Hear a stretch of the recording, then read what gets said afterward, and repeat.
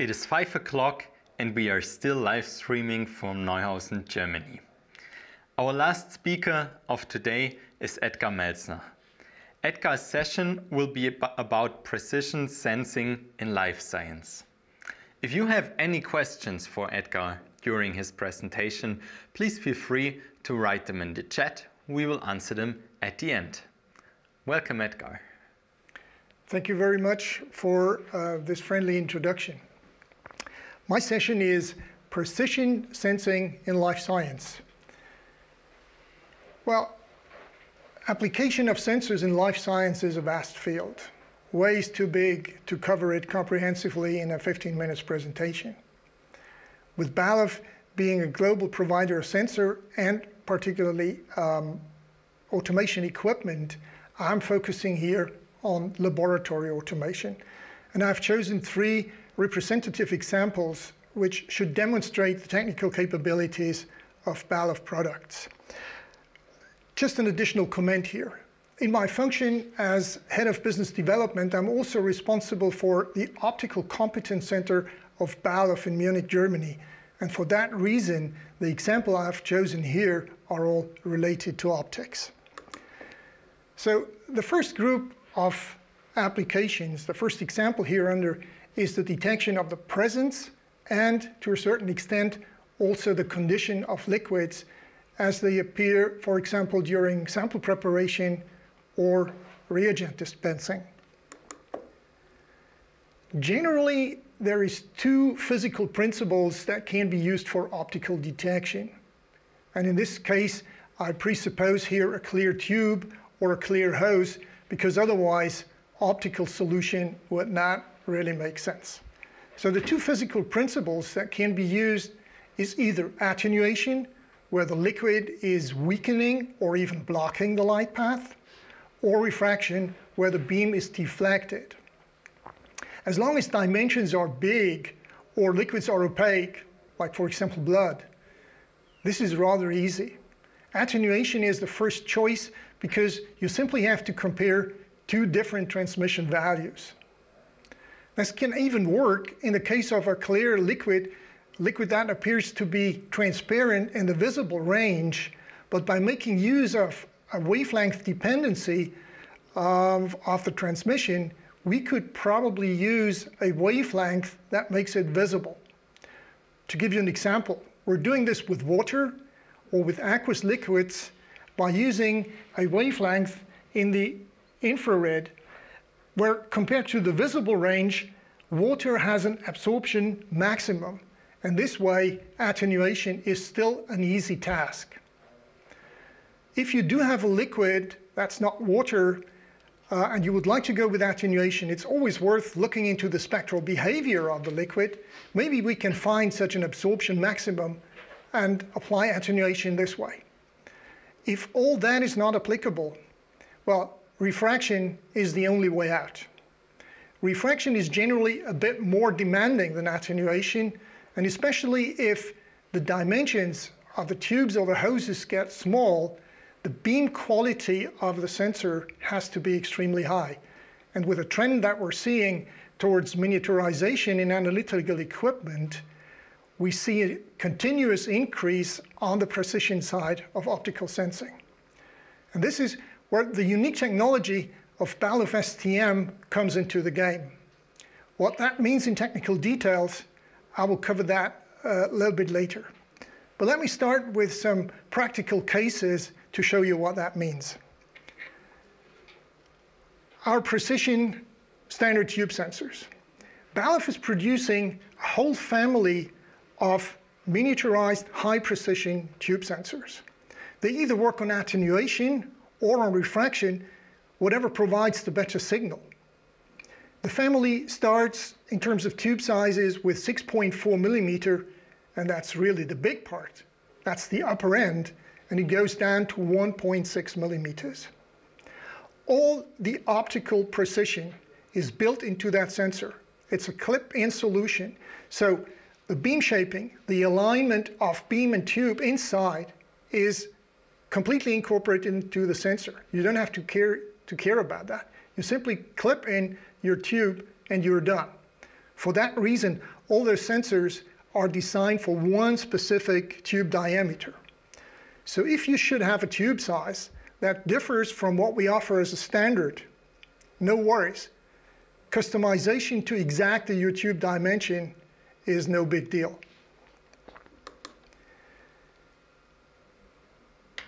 The second case I've chosen here is sample preparation and dispensing of reagents, which is commonly done via pipettes. If you need to dispense an exact volume, the precision in that hole detection is crucial. So pipettes are typically disposable parts. That means their exact position and the exact dimensions are subject to tolerances. So if you need to control the liquid level down to the lowest end of the tip, including uh, the respecting of the tolerances, this is where the challenge really gets extreme. And the only way to achieve reliable readings is if the beam diameter is smaller than the pipette diameter in the position where you're taking the reading.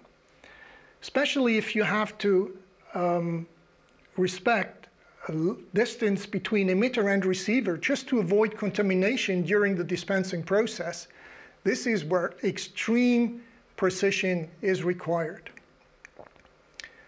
So this is what we mean if we talk about precision sensing in life science. But in terms of precision, this can even go further. The most challenging of all is microfluidic lab chips. In order to save reagent and reaction time, we see an increasing importance of a technology that is called lab on a chip. In these lab chips, the liquid transportation is provided by capillary forces in microchannels of 300 to 400 microns. So rather than using pumps and tubes, the volume is reduced to extremely small size. And what that means in terms of object size and object resolution for liquid presence detection, um, this lab chip will give you sort of an idea. There is 25 of such microchannels routed across that chip. Can you see them? Probably not, because they're way too small that the camera can catch them. That's no problem because our sensors can. If we take a through beam sensor of the Balluff micromode sensor family, micro optical sensor heads with a size like this of 2 millimeter external diameter. An LED integrated into that sensor head emits a beam size of 400 microns diameter, and that is exactly in the range of the microchannels. So this is what we mean if we're talking about sensing precision. If you have an application like that, a sensor like this is a hot candidate for it. Let's switch to a completely different field now with the profane name pill counting, and this is my second example. For many years, Balluff is producing so-called optical windows for all kinds of applications in packaging industry. These are basically square mechanical frames with an optical field inside with a high uniformity and a high sensitivity to detect parts that are passing that window. The object resolution of such a frame sensor of this size is typically in the range of a tenth of a millimeter, 100 microns, which is the size of a sugar grain. So every object that's passing the window, completely independent of the position where it falls, is reliably detected. So if we're talking about life science and pill detection, it's just a different kind of object, right? So where's the difference? Well, there is two particular challenges if we're talking about pill counting. The first one is unusual optical behavior. If you have translucent capsules with an elongated shape, like this one, especially if they are run through a frame that has been adjusted and used for small size pills before, and if they are tumbling and falling, their optical behavior can be so strange that it leads to miscounts. It makes a big difference if the part falls along its axis or perpendicularly to it.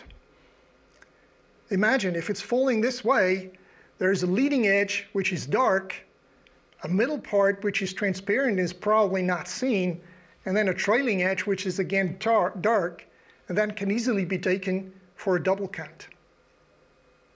So what's the solution? The electronics built into that sensor simply have different modes, including transparent object detection. So the correct choice of the right electronic parameters is the way out.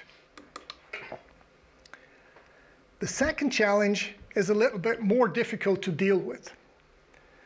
Many pills tend to generate dust during the processing and handling. This dust may build up on the lenses of the optical window, which over time leads to a gradual signal reduction.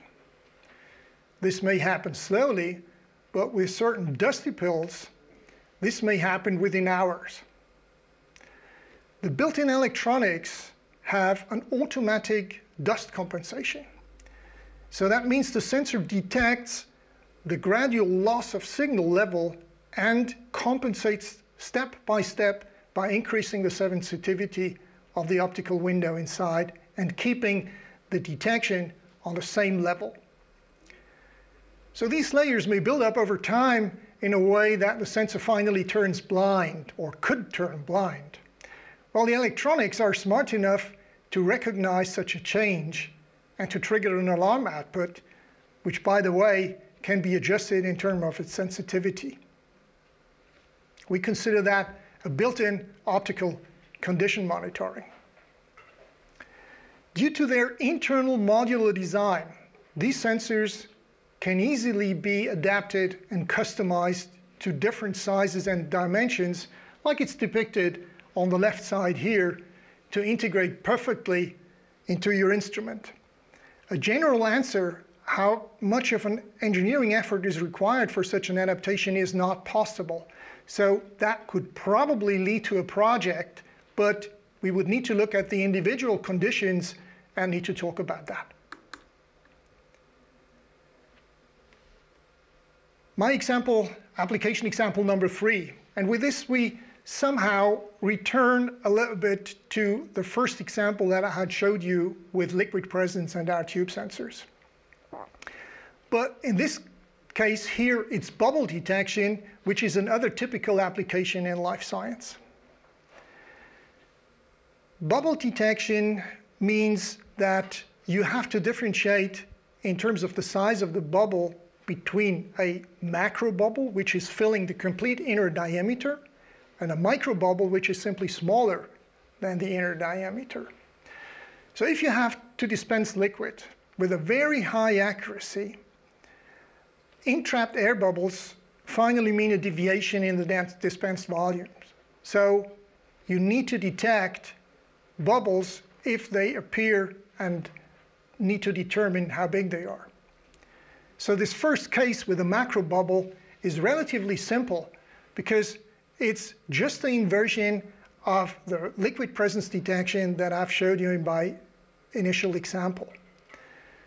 There is always a clear differentiation between liquid and air, and there is one even plane that differentiates the two refraction indexes. So the tube sensors, the highly precision tube sensors from example number one can be applied for this kind of application just inverted.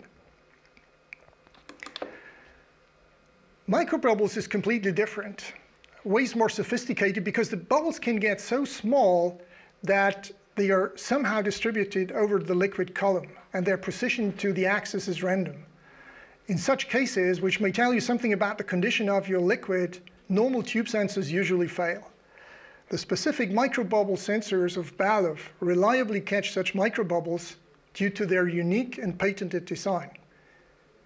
So if you have such a case, let's talk. So why can't we do what others can't? Well, the answer is this little component here. This is a high precision micro LED with an accurate beam shaping built according to the Balluff STM microspot technology.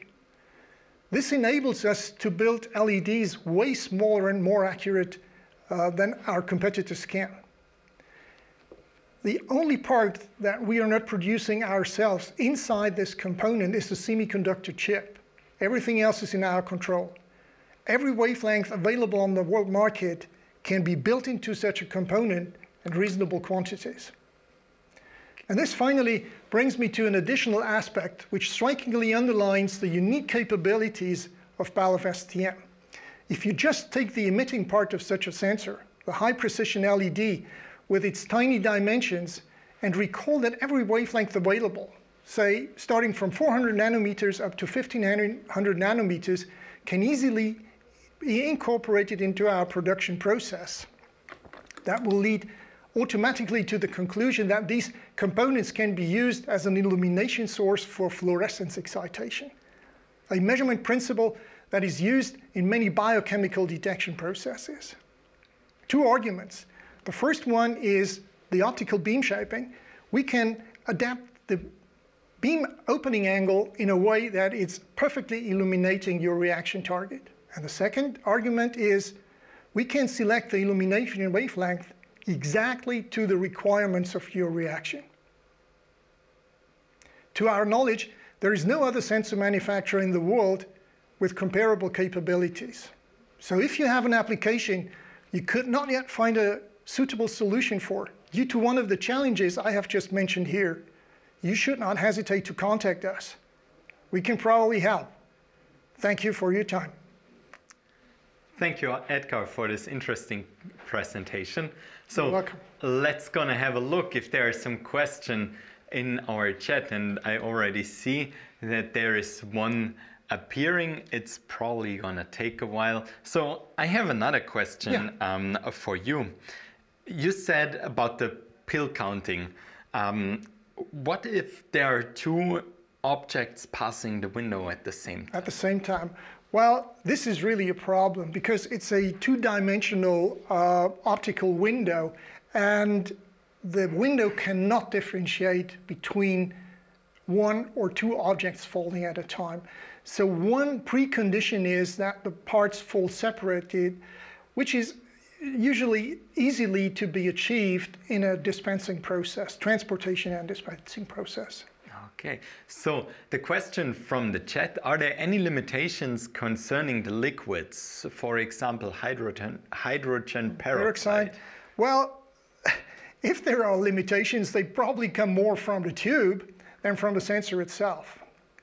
Uh, of course, like I had mentioned before, we would need to look into the optical behavior of that liquid and then decide if we need to go with attenuation or if we can go with attenuation, which is the easier case, or if we need to go with refraction, which uh, requires a little more, bit more internal precision. But again, the complete optical alignment is built into the sensor. So if you have an application with hydrogen peroxide, we would provide you and pre-select a sensor that would do the job. What happens if threading of a tube um, in, threading of the tube into the sensor is not possible?